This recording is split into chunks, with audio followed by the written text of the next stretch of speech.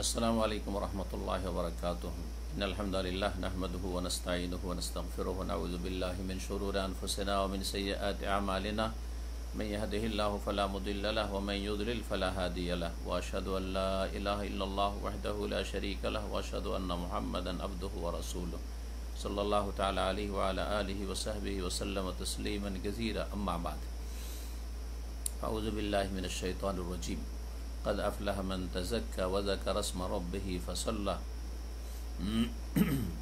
সম্মানিত দিনী ভাতৃমণ্ডলী আজকে তিরিশে রমজান চোদ্দোশো একচল্লিশ হিজড়ি মোতাবেক তেইশ মে দুই শনিবার রমজান মাসের শেষ দিন আগামীকালকে রবিবারে ইনশা আল্লাহ তালা ঈদ উল ফিতর হবে সৌদি আরবে এবং তার সাথে সাথে যেসব দেশে চাঁদ দেখা দেবে অথবা যেসব দেশে ঈদ করবে তারা, ইনশাআল্লাহ তরমাতে মুসলিমার আগামীকালকে ঈদের দিন। এই বছর দুই হাজার বিশ সালে করোনার ভাইরাসের কারণে মুসলিম বিশ্ব ঈদগাহে গিয়ে যেইভাবে ঈদের সলাত আদায় করার বিধান রয়েছে তা করতে সক্ষম নয়। যার ফলে নিজ নিজ বাড়িতে ঈদের সলাত আদায় করবে। এ সম্পর্কে মানুষের অনেক প্রশ্ন। তাই আজকে একটি সংক্ষিপ্ত হলেও গুরুত্বপূর্ণ আলোচনা এই ঈদের সলাতের বিধান সম্পর্কে এবং ঈদের সলাত বাড়িতে পড়ার বিধান সম্পর্কে আপনাদের সামনে পেশ করব। আল্লাহ রব্দুল আলমিন যেন আমাদেরকে সঠিকভাবে আমাদেরকে দিন পালনের তৌফিক দান করেন। তৌহিদ এবং সন্নাভিত্তিক এবাদত বন্দীগীর তৌফিক দান করেন। শির্ক এবং বিদাত থেকে মুক্ত থেকে ফরজ অজেবের হেফাজতের তৌফিক দান করেন। হারাম নাজাইজ থেকে বেঁচে থাকার আল্লাহ রব্বুল্লা আলমিন তৌফিক দান করেন। সম্মানিত ভাতৃমণ্ডলী, প্রথম যে বিষয়টি আলোচনা করব সেটা হচ্ছে বাড়িতে ঈদ পড়ার বিধান। এ সম্পর্কে অলামাদের চারটি মত রয়েছে। মতগুলি আমরা জেননি যাতে করে দিন সম্পর্কে আমাদের জ্ঞান বাড়ে। আর আমাদের মধ্যে সংকীর্ণতা আর কট্টরপন্থা, গোড়ামি যেন না থাকে। তো অলামাদের ইখতলাফ রয়েছে, চারটি মত রয়েছে। তার মধ্যে একটিকে আমরা প্রাধান্য দেব বা সেটির ওপর আমরা ইনশা আল্লাহ তালা আমল করব, যেটাকে কোরআন সন্ন্যার কাছাকাছি মনে করছি এই ইজতিহাদি ফতোয়াই এ ফিকি মাস আলাই প্রথম উক্তি হচ্ছে যে যেইভাবে ঈদের সলাৎ আদায় করতে হয়, সেইভাবে আমরা ঈদের সলাৎ আদায় করব বিনা খুদবাই জি, তবে খুদবা হবে না। পার্থক্য হচ্ছে খুদবা হবে না। কেন? তারা বলছেন যে এটি হচ্ছে কাজার মতো, কাল কাজা জি, আদায়ের মতো নয়। আবার আরেক দল বলেছেন যে খুদবা হবে না, কিন্তু সেটা আদায়। জি। এবং যেহেতু ঈদগাহে আদায় করতে পারছে না, তাদের কথা হইল সেই জন্য সর্বনিম্ন যেটা ফরজ, সেটা হচ্ছে সলাদ পড়ে নেওয়া, সেটা আকাল্ল ওয়াজেব সর্বনিম্ন যেটা ফরজ, সেটা আদায় করব, সেটা হচ্ছে বিনা খুদবাতে আমরা সলাত আদায় করব। এ হচ্ছে উক্তি, সেটা কাজা বলে হোক অথবা আদায় বলে হোক, কিন্তু প্রথম মতটি যেটি, সেটা হচ্ছে যে আমরা এটাকে কাজার সাথে তুলনা করে খুদবা ছাড়া কারও যদি ঈদগাহে ঈদের সলাদ পায়নি, ছুটে গেছে।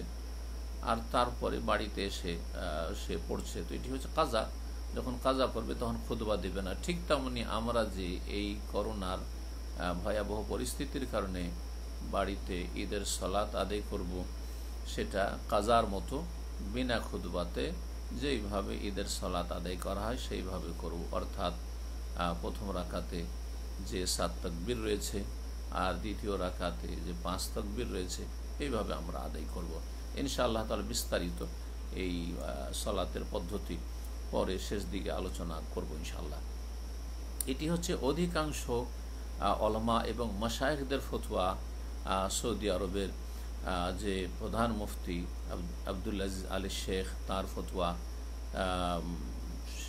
বড় একজন আলেম শেখ আব্দুর রহমান বর্রাক শেখ সালেউল ফৌজান, শেখ আব্দুল আজিজ রাজেহি, শেখ আব্দুল করিম আল খুদাইর, শেখ আব্দুল মোহসেন আজামিল শেখ খালিদ আল মুশাইকে শেখ সুলাইমান আল মাজিদ, শেখ খালিদ আল মুসলে এই রকমই শেখ আহমদ আল কোয়াইমি, শেখ সাদ আল খাসলান আবদুল্লাহ সুল্লামি এটি হচ্ছে ফতুয়া সৌদি আরবের বড় বড় হাইয়া থেকে বার আলামার এবং তার সাথে সাথে এই ফতুয়া মেসরের আজহারের বড় বড় অলমাই কেরাম হাইয়া থেকে বার অলমা যারা রয়েছেন, তারা ফতুয়া দিয়েছেন এবং জর্ডনের দারুল ইফতা এই ফতুয়া দিয়েছে।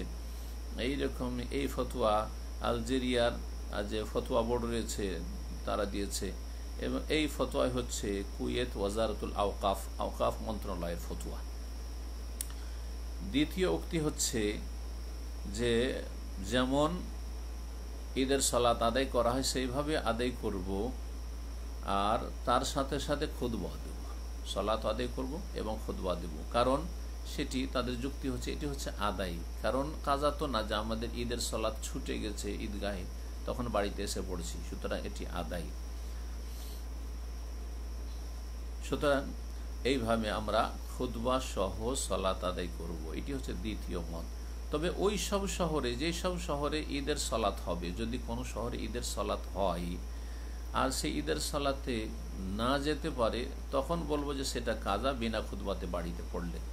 এই ফতোয়া দিয়েছেন কুয়েতের বড় একজন আলম শেখ আব্দুল মোহসিন আল মুতাইরি সোয়ালিহা সাহুদ, জিয়াব আল গামেদি আব্দুল সালাম সোয়াইয়ের মুতুল্লাক আল জাসের ও আব্দুর রহমান সাহলি, অধিকাংশ কুয়েতর আলমারা এই ফতোয়া দিয়েছেন। তৃতীয় উক্তি হচ্ছে যে চার রাখাত পড়ব। চার রাকাত, দুই রাকাত নয়, চার রাকাত সালাত আদি করতে হবে।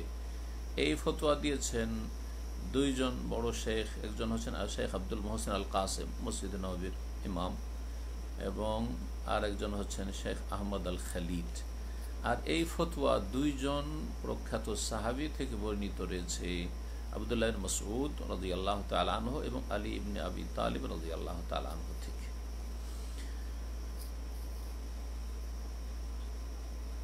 চতুর্থ উক্তি হচ্ছে যে ঈদের সলাদ ঈদগাহে যখন আদায় করতে পারব না এমন কি বৃষ্টি, বর্ষার কারণে মসজিদে আদায় করতে হয়, ঈদগাহে না যেতে পারলে সেটাও করতে পারছি না। সুতরাং আমরা বাড়িতে ঈদের সলাত আদায় করব না। ঈদের সলাত নেই। এক কথায় তাদের কাছে ঈদের সলাত নেই। এই ফতুয়া সৌদি আরবের হায়াতে কবর আলামার শেখ আবদুল্লাহ খনাইন ফতুয়া দিয়েছেন। এই চারটি মতের মধ্যে প্রাধান্যযোগ্য, আল্লাহ বেশি ভালো জানেন প্রথম উক্তিটি, সেটা হচ্ছে, সলাত আদায় করবেন যেমন ঈদের সলাত আদায় করা হয়, কিন্তু তাতে খুদবা দেবেন না, কারণ তাদের দলিল বা যে যুক্তিগুলি পেশ করেছেন, সেই যুক্তিগুলি বা দলিল শক্তিশালী। আর এই সলাদটি হচ্ছে কাজা সলাদ এবং এই মতটি অধিকাংশ আলমাই কেরামগণ বর্তমান পরিস্থিতিতে যেহেতু গ্রহণ করেছেন, পছন্দ করেছেন এবং তারা বড় বড় আলেম। সুতরাং সেই উক্তিটিকেই আমরা প্রাধান্য দেব। আল্লাহ আলম। এখন আমরা আলোচনা করব ঈদের সালাতের বিধান কি?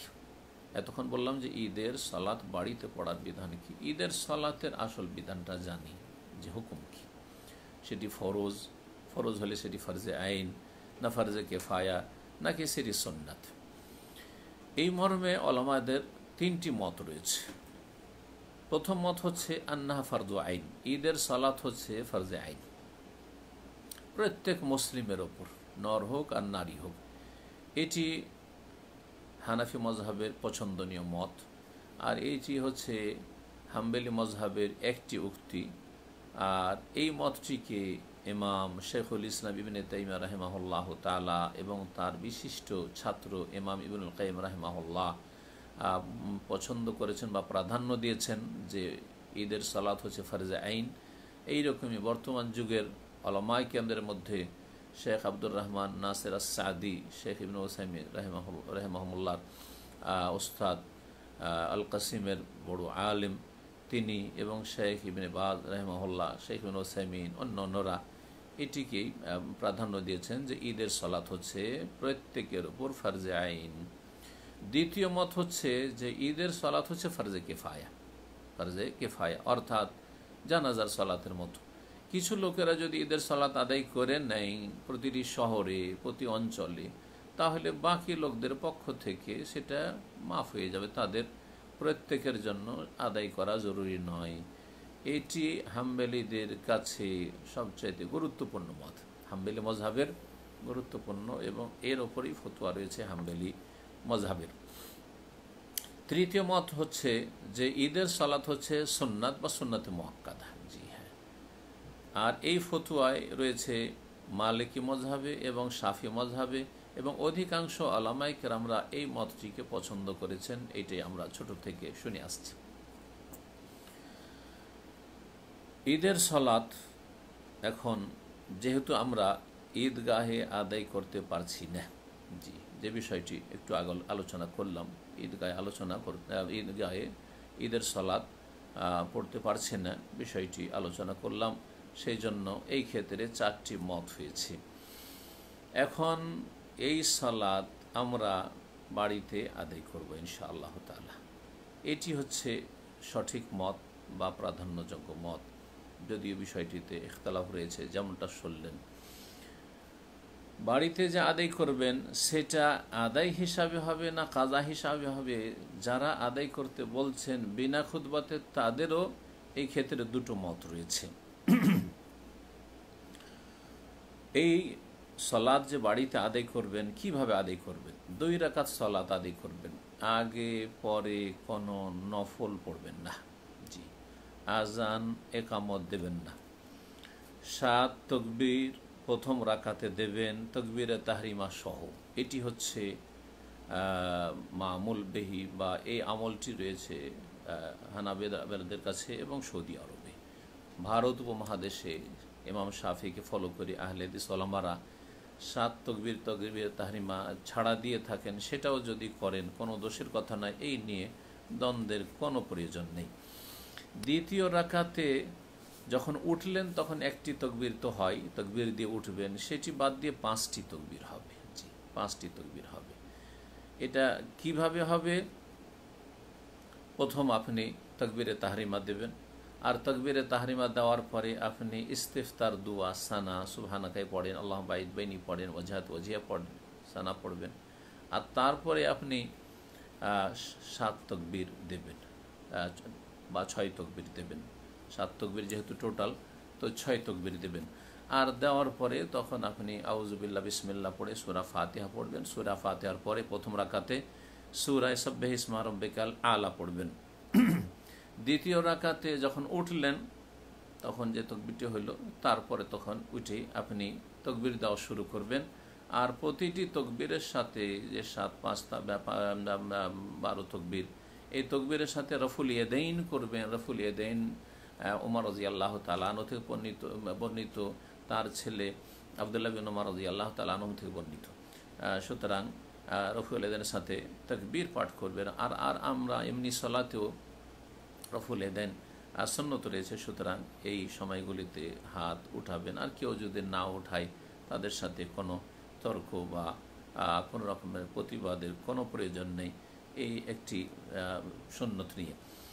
তো এই প্রথম রাকাতে হয়ে গেল সুরা ফাহাতের পরে সুরায় আলা। আর দ্বিতীয় রাকাতে আপনি উঠে পাঁচটি তকবির দেবেন। আর পাঁচ তকবির দেওয়ার পরে সুরা ফাতেহা, সুরা ফাতেহার পরে সুরায় গাছিয়া পড়বেন। যদি এই সুরাগুলি মুখস্থ থাকে, তাহলে সেটি হচ্ছে উত্তম সন্না। আর যদি তা না হয়, তাহলে যে কোনো সুরা পড়বেন। ফাকরাও মা তায়াসারা মিনাল কোরআন। যথাসাধ্য কোরআন থেকে যা সহজ হয়, তাই তোমরা পাঠ করো। সুতরাং একটি সুরা পড়েন কোনো বড় সুরার কিছু অংশ পড়েন, কোনো অসুবিধা ইনশা আল্লাহ তালা এই ঈদের সালাদ যে বাড়িতে পড়বেন, সেটি জামাত করা সম্ভব হলে নিজের পরিবার নিয়ে আছেন, ছেলে মেয়ে নিয়ে আছেন, জামাত করবেন।